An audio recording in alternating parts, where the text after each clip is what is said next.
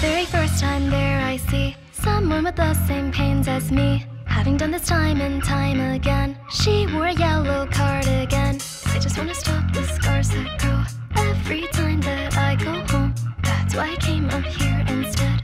That's what the girl in the cardigan said. Well, wait a minute, what did I just say? I couldn't care less either way. But in the moment, I just screamed something that I did not believe. Hey, don't do it, please.